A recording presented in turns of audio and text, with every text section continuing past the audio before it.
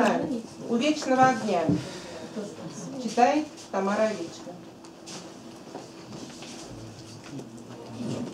Вечной памяти свет зажигают на братских могилах.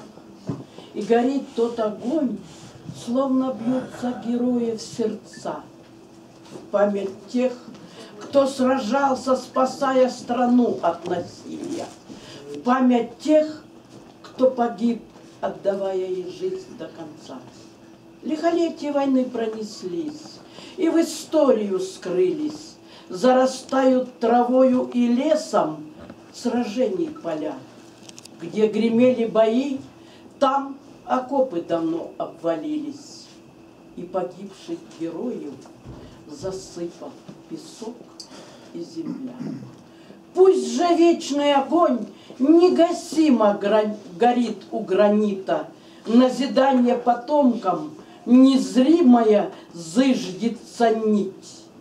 Ведь никто не забыт, и ничто на земле не забыто.